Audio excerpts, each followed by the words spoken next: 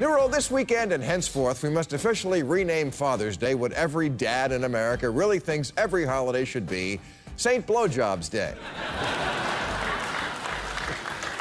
Straight or gay, daddy wants a Hummer. If you give him a robe, he'll be thinking, ooh, this is what I should wear while you're blowing me. if you give him a fancy coffee maker, he'll think, great, this will help me stay awake for my blowjob. How do I know your man wants it on that particular day? Because it's a day.